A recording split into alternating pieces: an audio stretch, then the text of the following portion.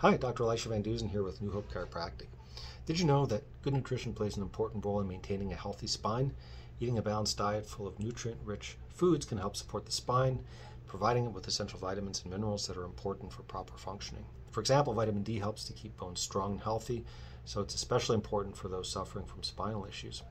Including plenty of fruits and veggies in your diet offers anti inflammatory benefits that can reduce swelling caused by spinal injuries or disc degeneration, while omega 3 fatty acids like um, salmon, mackerel, things like that, fish, um, fish foods like that, not only combat inflammation but also promote heart health and cognitive health too.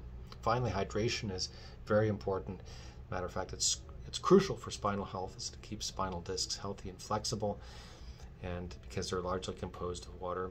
So aim to consume about half your body weight in ounces of water uh, every single day especially in these summer months when it tends to be hot and you sweat more water out and you can get dehydrated more easily that way. So don't eat a bunch of junk food.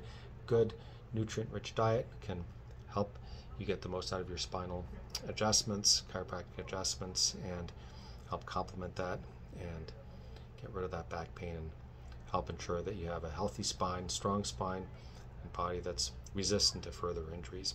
So check us out at newhopechiropractic.com. You can also make an appointment through our website, and we look forward to helping you soon. Have a healthy day.